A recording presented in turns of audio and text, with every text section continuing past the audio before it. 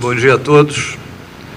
Professor Ivan Camargo, magnífico reitor da UNB, senhor embaixador Sérgio Moreira Lima, presidente da FUNAG, professor Paulo Esteves, professor Flávio, José Flávio Sombra Saraiva, o professor Marco Aurélio Garcia, embaixador Samuel Pinheiro Guimarães, embaixador Ronaldo Sardenberg, uh, senhoras e senhores professores e pesquisadores, uh, caros alunos, senhoras e senhores, meus colegas. É com enorme satisfação que venho à Universidade de Brasília para participar da abertura da terceira Conferência sobre Relações Internacionais, organizada em parceria entre a Fundação Alexandre de Guzmão e a Universidade de Brasília. A realização da terceira CORE aqui nesta universidade é uma justa homenagem aos 40 anos da criação do primeiro curso de Relações Internacionais do Brasil. O desenvolvimento impressionante e o aumento da qualidade da área de relações internacionais no país, muito se devem a este pioneirismo da UNB, que desde os anos 70 forma gerações de especialistas. O Itamaraty sempre teve uma relação muito próxima com a UNB e se beneficia dos talentos aqui formados, muitos dos quais passaram a integrar nossos quadros. Por isso, proferir esta palestra expressa, ao mesmo tempo, uma satisfação e nosso agradecimento. O tema desta terceira core, o Brasil e as tendências do cenário internacional, não poderia ser mais apropriado. A definição do lugar do Brasil no mundo de hoje se dá em um ambiente internacional em profunda transformação. Não é só o Brasil que tem se, se transformado profundamente. Também o mundo não é mais o mesmo. E o alcance dessas mudanças internacionais parece de muito mais difícil apreensão do que as transformações ocorridas em cada país em particular, no, como no caso do Brasil, onde há um claro sentido de fortalecimento da cidadania e de inclusão social. Não é à toa que, passado um quarto de século desde a queda do Muro de Berlim, continuemos a recorrer a expressões vagas como o sistema internacional pós-Guerra Fria, para caracterizar o mundo em que vivemos. A indefinição, porém, não nos exime da obrigação de agir, muito pelo contrário. A diplomacia exige uma capacidade permanente de reflexão e ação, especialmente nos momentos em que a ordem internacional se redefine, como agora. Este é um importante desafio para a atual política externa brasileira. Mais do que se preparar para uma nova realidade do século XXI, a política externa precisa engajar-se de modo ativo e construtivo para ajudar a moldar essa realidade de acordo com os interesses do país. Daí a importância renovada de pensar e agir estrategicamente, e não como mera reação a eventos internacionais.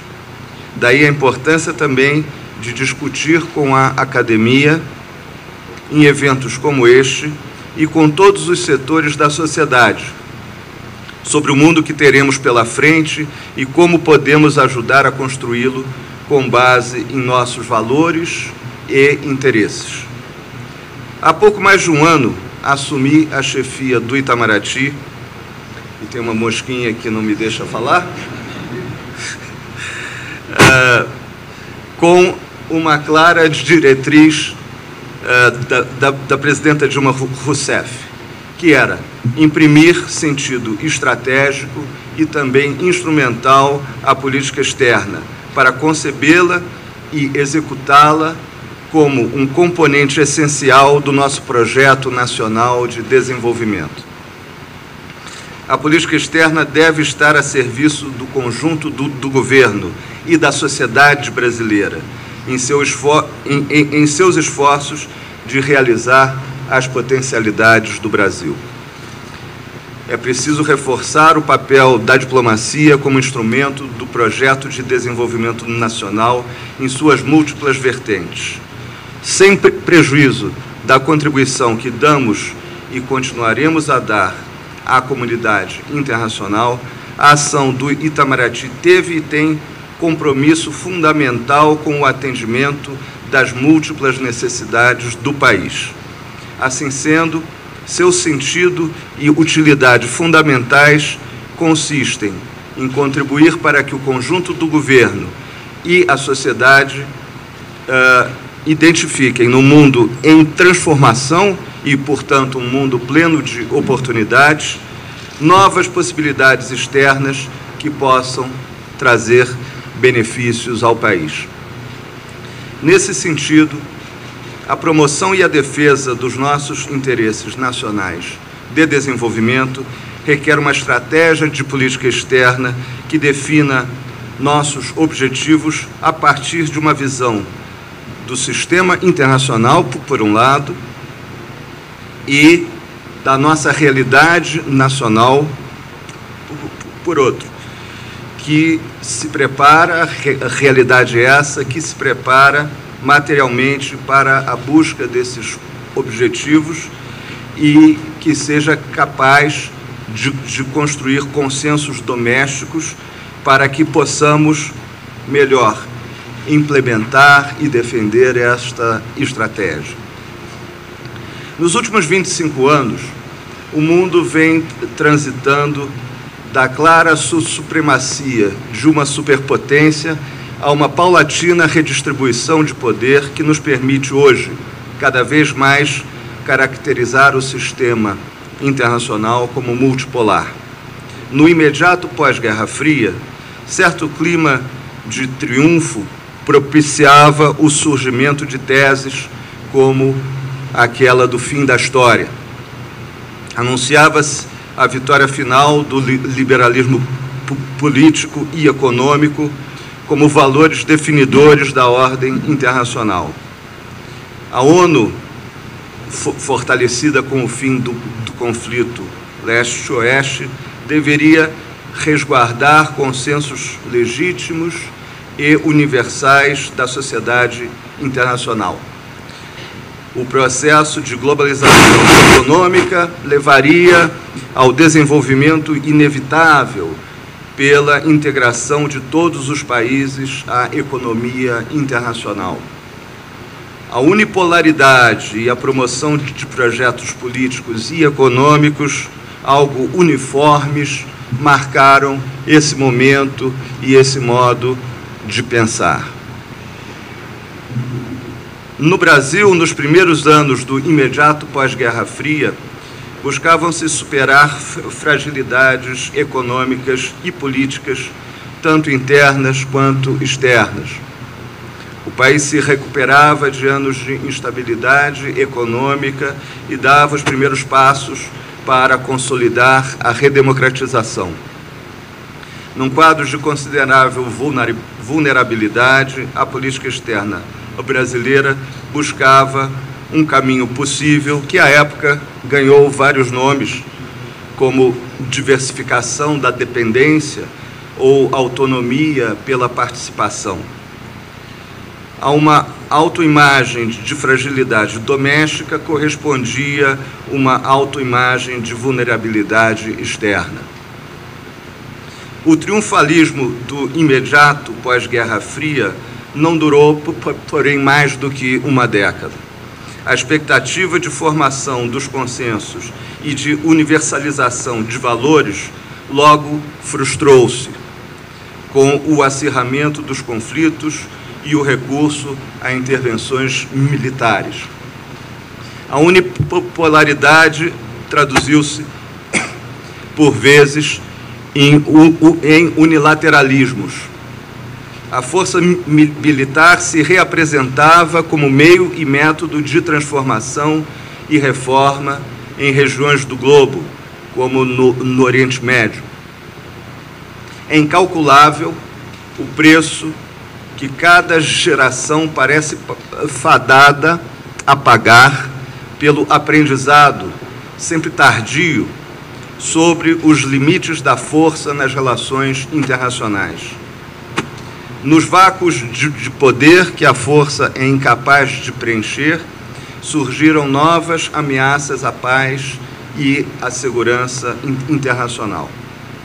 Assim, a década de 2000 nas relações internacionais caracterizou-se por uma dinâmica perversa em que os excessos de confiança em soluções unilaterais e consensos ideológicos herdados da década anterior redundaram em crises de alcance global. O uso da força militar no Iraque em 2003, como um exemplo, deixou consequências ainda hoje sentidas para a estabilidade regional e global. Já os excessos financeiros e, e econômicos da, da, globalização encontraram seu limite na crise de 2008. A, a governança da paz e da economia, tal como comandadas pelas potências centrais, passou a, a enfrentar uma crise de credibilidade e de eficácia. Ao mesmo tempo, a década de 2000 testemunhou a ascensão de novos polos de poder. Países como a China, a Índia, o Brasil, entre outros, ampliaram sua voz e seu peso internacional. Ganhou impulso um processo de redistribuição do poder mundial. A participação dos países do G7 no produto mundial caiu de, de 46% em 1992 a 33% em 2011. Em contrapartida, a participação dos BRICS subiu nesse mesmo, nessa, nesse mesmo intervalo de 17% para 28%. Tendência semelhante ocorreu nas exportações mundiais de bens, em que a participação dos BRICS e do mundo em desenvolvimento, em geral, saltou de 34% para 47%. Cresceu também o potencial diplomático dos países emergentes, justamente pela maior capacidade de articulação de seus interesses e visões por meio da criação de grupos e coalizões. Essa redistribuição de, de poder mundial tem sido necessariamente paulatina e nem todos os polos emergem ou se consolidam com o mesmo vigor.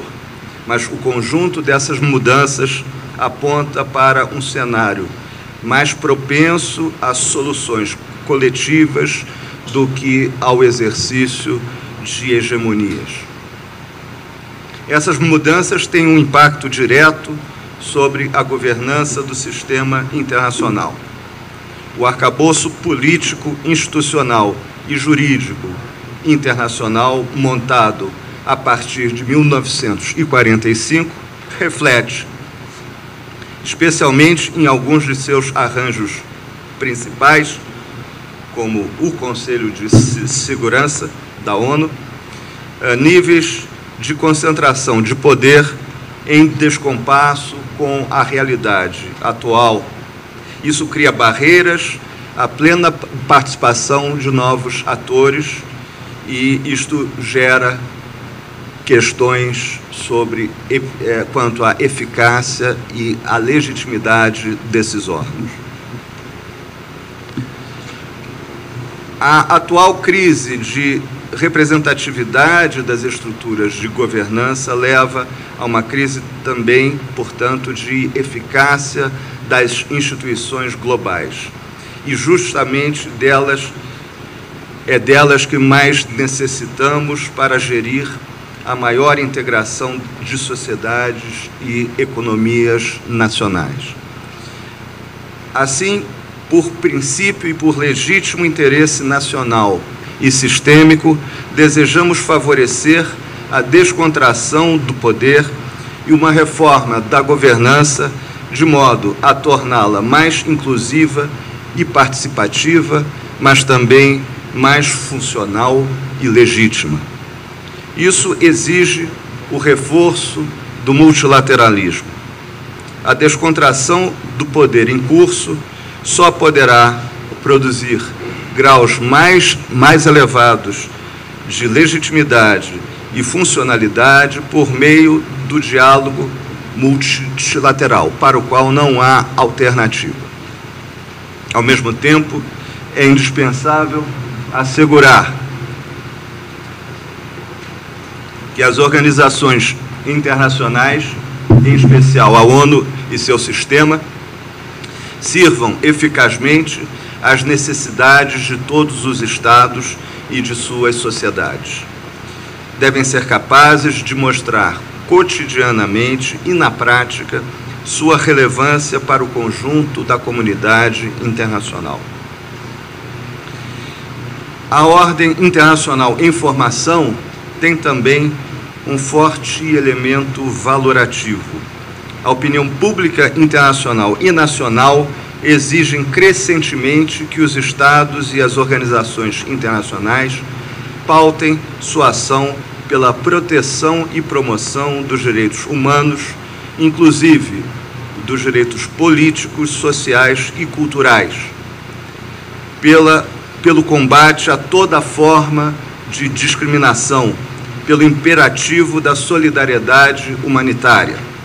Para além da discussão que existe se todos os valores são universais ou não, o fato é que no plano internacional há hoje e deverá haver no futuro cada vez menos espaço para o exercício puro do poder ou para a observância pura e simples de conveniências ou necessidades políticas ao arrepio de valores considerados fundamentais.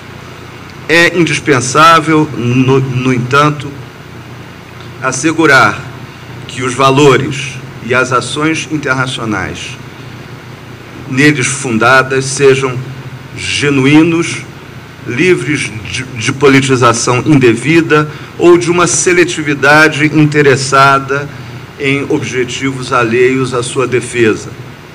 Os valores não são propriedade de nenhuma potência, nem seu respeito o apanágio de um grupo determinado de, de nações ricas ou pobres, grandes ou pequenas.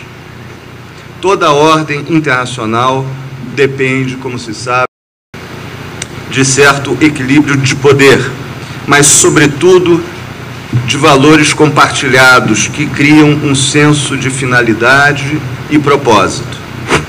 Como sociedade que é e se deseja crescentemente democrática e plural, o Brasil estimula e apoia uma ordem internacional que reflita os fatores que fundam e os valores que fundam nossa sociedade. Isso significa uma ordem mais aberta e participativa que reforce a capacidade do país e da comunidade internacional de promover a paz e o desenvolvimento. Significa também uma ordem justa e comprometida com a prosperidade compartilhada, com o desenvolvimento associado à inclusão so so social e com o estrito respeito aos direitos e valores humanos. É de se prever também que, num cenário de crescente multipolaridade, o regionalismo será mais e não menos importante nas relações internacionais. O Brasil é favorável a uma ordem em que as regiões sejam cada vez mais estáveis, harmônicas e integradas. É um desenvolvimento que guarda sintonia com os esforços que estamos empreendendo junto com os nossos vizinhos para a integração da América do Sul. No mundo interdependente, marcado por fluxos crescentes de pessoas, bens, serviços, conhecimentos e informações, a ação externa é parte fundamental da agenda de desenvolvimento nacional, mas mais ainda para um país com as dimensões, as características e os interesses do Brasil. Como diz a, a presidenta Dilma Rousseff, e eu cito, as dimensões interna e externa da política de um país são inseparáveis. Complexidade dos desafios inerentes ao processo de desenvolvimento de um país como o nosso requer uma estratégia de inserção externa diversificada e em sintonia com os anseios nacionais.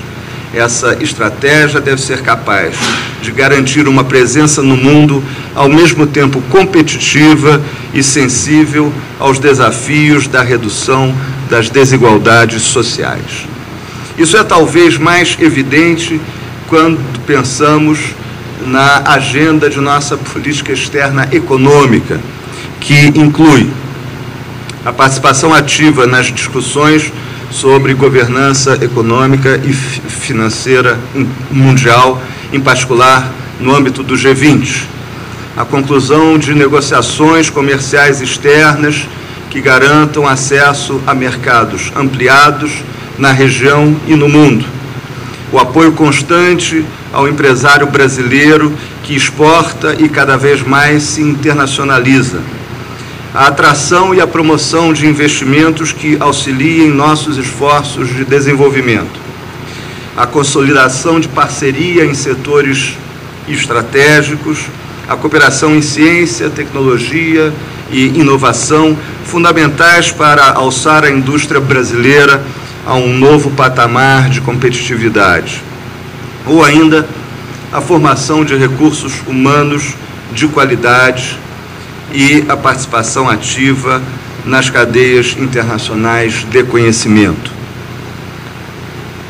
Mas a, a, a, preocupação com o desenvolvimento perpassa ainda outras agendas de nossa política externa.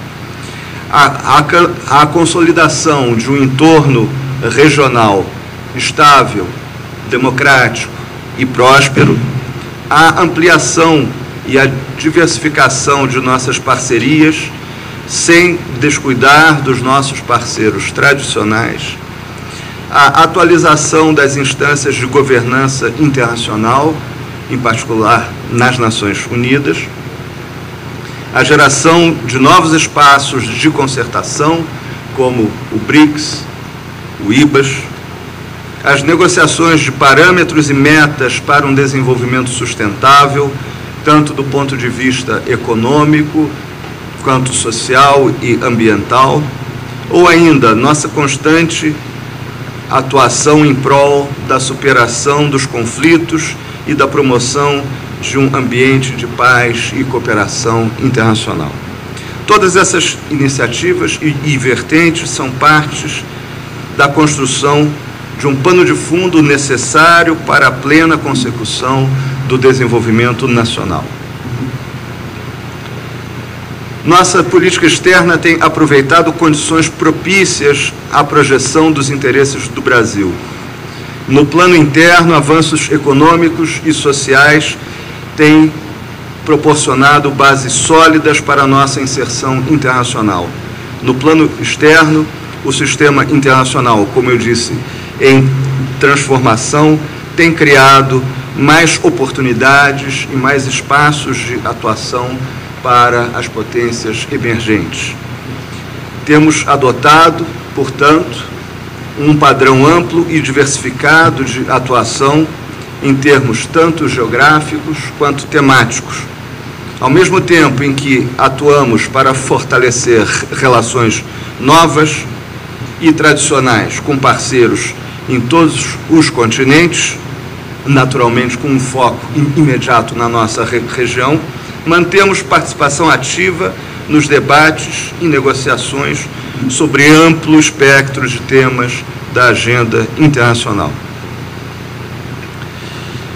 Conciliamos a universalidade das relações diplomáticas com um compromisso cada vez mais renovado com o multilateralismo e com o engajamento em instâncias de, de, de formato até mais uh, reduzido, como BRICS e IBAS, uh, e com os esforços dos últimos anos, aprofundamos as relações com países de todos os continentes, de modo a que hoje o Brasil é uh, um de apenas 11 países do mundo que mantém relações diplomáticas com todos os membros da ONU.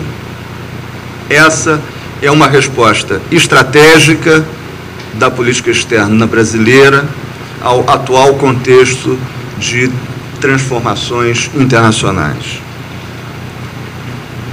A diversificação cada vez maior de nossa atuação é, é, é absolutamente condizente com um cenário em que as potências tradicionais coexistem com os países emergentes. É condizente também com um mundo uh, cada vez mais interdependente no plano econômico.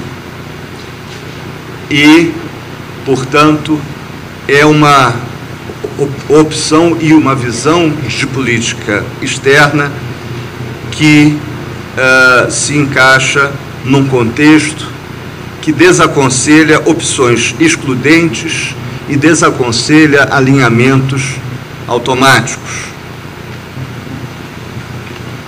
Ao contrário, sem descuidar das relações tradicionais, continuam que, que continuam a merecer um lugar privilegiado em nossa política externa, passamos a buscar também novos parceiros e novas coalizões que complementam ou suprem lacunas das estruturas tradicionais de poder. A última década foi um período de grande atividade e criatividade da política externa brasileira. Formamos o G20 nas negociações agrícolas da OMC, que mudou a dinâmica das negociações comerciais da rodada Doha. Criamos o IBA, o IBAS e mais tarde o BRICS, coalizões comprometidas com a reforma da ordem internacional. Articulamos o BASIC nas negociações de clima. Uh, a dimensão sul-sul de nossa diplomacia não foi uma opção ideológica ou uma tentativa de restaurar um terceiro mundismo ultrapassado, como alguns críticos insistem em caracterizar. Partiu, ao, ao contrário, de um claro e objetivo diagnóstico de que o Sul era uma parte cada vez mais ativa e importante na geopolítica e na geoeconomia mundial. A rigor, quando se falava no passado, por certos autores, numa busca de autonomia da nossa política externa, hoje já não faz mais sentido é, pensar é, nessa, nessa categoria. Nós já logramos alcançar essa autonomia graças a a conquistas internas de nossa sociedade e ao trabalho da nossa diplomacia. Nós nos to tornamos a sétima e e economia mundial em um contexto de estabilidade macroeconômica e política. De devedores passamos a credores líquidos internacionais. Re realizamos progressos muito expressivos em matéria de, de inclusão social, de fortalecimento da consciência ambiental e da promoção e, e proteção dos direitos humanos. Eu gostaria de uh, contar um fato que ocorreu na semana passada. Eu participava de uma, de uma reunião uh, sobre o Centro Rio Mais, que é um centro de desenvolvimento sustentável no Rio de Janeiro, e uh, um dos convidados dessa reunião era um dos diretores do MUD, que veio de Nova York. Uh, e, e, ele, em, uh, quando falou, mencionou um fato que é extraordinário. Nós, às vezes, não vemos o que está muito diante de nós. É, é preciso que outros nos lembrem. Mas ele dizia que o Brasil, nos últimos anos, conseguiu aumentar a renda das populações uh, das classes mais pobres em 100%, coisa que é absolutamente uh, inédito na história mundial. Uh, então, fatos como esses nos dão, portanto, capacidade de atuação, legitimidade de, de, de, atuação e de busca de cada vez mais atuar para uh, esse projeto de desenvolvimento nacional. Portanto, nós desenvolvemos uma política externa que buscou, com determinação, ocupar e criar espaços. O Brasil transformou-se nesses últimos anos em um país com influência direta na formação da nova ordem internacional, do, que vai desde temas como o desenvolvimento sustentável, ao comércio, a paz e, e a segurança e aos caminhos de integração regional. Em uma política externa marcada pela universalidade, interessa ao Brasil um entorno regional estável e próspero. A América do Sul permanece, portanto, como área prioritária da política externa brasileira, a fim de, de consolidar a região como espaço de paz, democracia, estabilidade e cooperação, o Brasil continua empenhado em uma estratégia de, conver de convergência e de integração regional. Convergência e integração são, de fato, o cimento dessa paz e dessa estabilidade na nossa região. Além da manutenção da paz e da estabilidade, a, integração regional é importante em nossa estratégia de desenvolvimento econômico e social. Nosso entorno é um espaço para a expansão econômica e social do Brasil. É na América do Sul que muitas empresas brasileiras dão os primeiros passos na sua internacionalização e encontram mercados atraentes para seus produtos e serviços.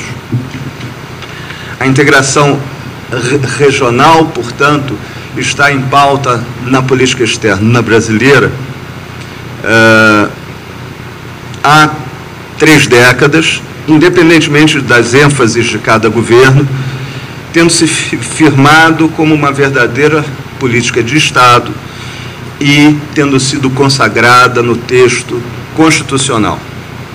Interessa ao Brasil trabalhar ativamente pela consolidação de um espaço sul-americano próspero, estável, democrático e crescentemente integrado. Essa não é uma opção ideológica, como muitas vezes se, se tem dito se existe uma ideologia na nossa política externa, a ideologia chama-se a promoção do interesse nacional. Essa é e essa vai ser sempre a ideologia que anima o Itamaraty. A evolução que tivemos no, Mercosul estimulou o impulso integracionista no Brasil e, e na região.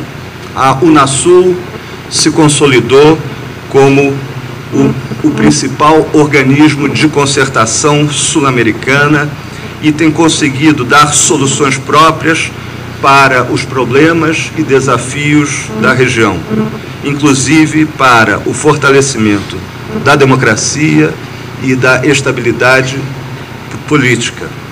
Uma prova recente disso é o diálogo trilateral de chanceleres com a Venezuela, do, do qual eu tenho participado. Dentro da série de iniciativas e coalizões diplomáticas que surgiram nos últimos anos, o BRICS ganhou uma grande importância nos seus comparativamente poucos anos de existência e se tornou uma força incontestável nas relações internacionais.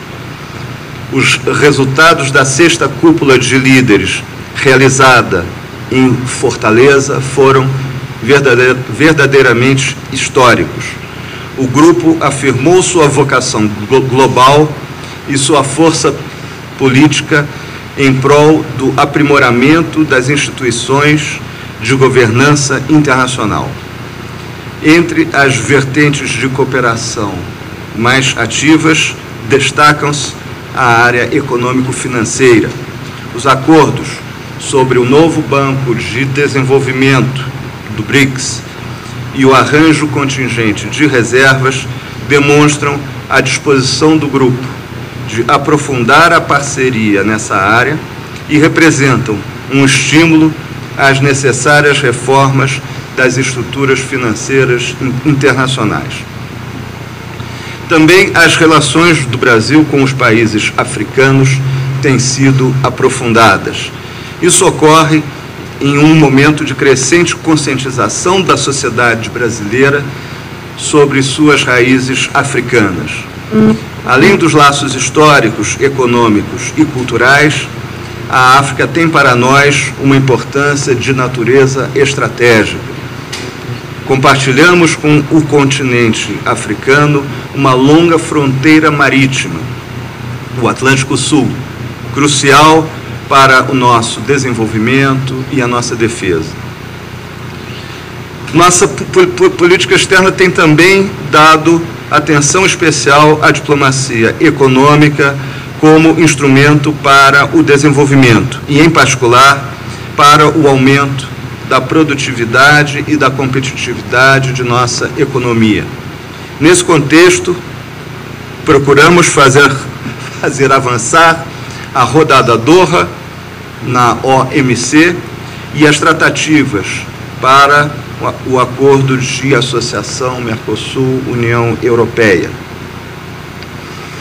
Também nos empenhamos para criar e fortalecer parcerias em educação, e ciência, tecnologia e inovação, tendo-nos mobilizado para prestar apoio ao programa Ciência Sem Fronteiras. A diplomacia econômica e da inovação assume, portanto, uma importância fundamental no atual ciclo de desenvolvimento brasileiro. Temos de intensificar ainda mais os esforços no sentido de contribuir para o aumento do volume e valor das exportações, estimular e amparar a internacionalização das empresas, atrair investimentos para o país e assegurar um espaço normativo para a promoção das políticas nacionais de desenvolvimento.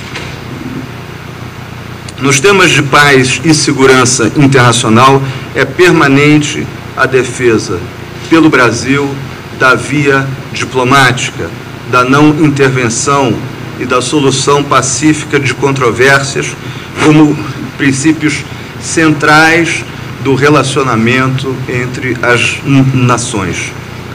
Permanece vital o respeito à Carta da ONU, em particular a proibição do uso da força sem a autorização do Conselho de Segurança ou num contexto que não seja o de autodefesa.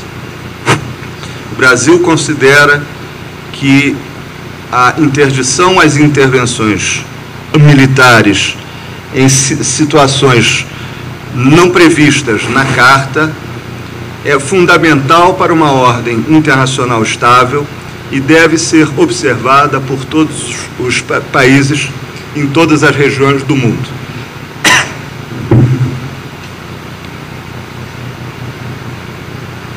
A observância seletiva da Carta e sua interpretação enviesada minam parte dos fundamentos daquela ordem, sem substituí-la por outra ordem mais afim com as, com as aspirações pela paz, fundada na justiça e pela prosperidade compartilhada. Ao contrário, ameaça debilitar aspecto civil, civilizacional e político do mundo pós-guerra, que cabe sustentar continuadamente e onde couber reforçar. Há hoje um quadro preocupante no campo da paz e segurança internacional. Como assinalou a presidenta Dilma Rousseff na, na Assembleia Geral da ONU, não se resolvem muitos dos conflitos antigos e surgem novos, cuja solução tampouco se alcança. Muitos deles são acompanhados de graves crises humanitárias e violações de direitos humanos. Entre as diversas razões para explicar essa situação está a inclinação de responder a conflitos ou crises com o uso da força. Usa-se a força antes mesmo de se buscar exaurir os meios de solução política. O foco na solução pacífica, na negociação e no diálogo diplomático entre os países não é expressão de idealismo de um, um, país como o nosso, que vive em paz com seus vizinhos há mais de 140 anos. É uma necessidade da ordem internacional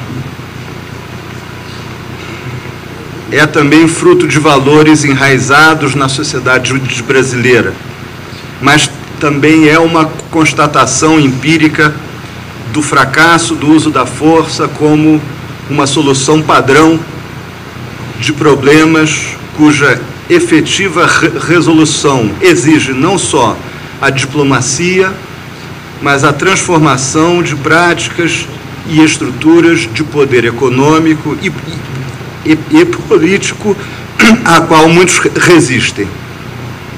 Casos como Líbia, Iraque, Síria e Palestina, entre outros, são alguns exemplos dos limites do uso da força como instrumento para a superação de, de crises ou conflitos. Além dessa agenda que eu chamo de agenda clássica de política externa, agenda da paz, segurança, integração, economia, existe toda uma nova agenda no campo internacional, novos temas que têm demandado uma maior atenção do Brasil e que se uh, relacionam à crescente importância da agenda do desenvolvimento social, os compromissos internacionais em matéria de direitos humanos, a definição de novos ah, paradigmas em termos de desenvolvimento sustentável, as questões ah, relativas aos, a, aos novos desenvolvimentos tecnológicos, como a internet, e a, a privacidade uh, no espaço cibernético e a própria governança da internet. Uh, temos que ter a plena consciência de que, na, na esteira do reconhecimento internacional do Brasil como exemplo de um país que deu um salto de crescimento com distribuição de renda em contexto democrático uh, e gerou uma série de tecnologias sociais, o Itamaraty passa a atuar cada vez mais e tem que passar a atuar cada vez mais na vertente da diplomacia social. A cooperação Sul-Sul prestada pelo Brasil tem se firmado progressivamente em apoio a programas de inclusão social e erradicação da pobreza em outros países em desenvolvimento. Isso vem contribuindo para projetar uma imagem positiva do Brasil, com efeitos benéficos para todas as dimensões do relacionamento do Brasil com os países receptores. É importante entender que, por via dessa nossa atenção à diplomacia nessa área e a política externa voltada para valorizar esta área, tivemos um notável acréscimo de capital diplomático, que se reflete, como eu disse, em todas as áreas. Além disso, no plano do desenvolvimento sustentável, o país sediou em 2012, no Rio de Janeiro, a maior conferência da história das Nações Unidas. Com a liderança brasileira, a Rio teve o papel de consolidar o conceito de desenvolvimento sustentável e consagrar o consenso de que a erradicação da pobreza extrema representa o maior desafio global da atualidade e constitui requisito indispensável para o desenvolvimento sustentável. Nas, também nas negociações internacionais sobre mudança do clima, o Brasil tem tido uma posição de destaque lastreado por suas uh, credenciais internas de uh, sustentabilidade. Na questão que, que eu já mencionei da privacidade no espaço cibernético e da governança na internet, o Brasil assumiu uma posição de liderança. Esses temas ganharam um grande relevo nesses últimos anos, na sequência de denúncias sobre atividades de, espionagem. Uh, e o Brasil, junto com, com a Alemanha, conseguiu aprovar agora, pelo segundo ano consecutivo, por consenso, na Assembleia Geral da ONU, uh, duas resoluções sobre o direito à privacidade na era uh, da internet. O governo brasileiro, dentro dessa mesma veia, realizou também este ano em São Paulo a reunião multissetorial global sobre o futuro da governança na internet.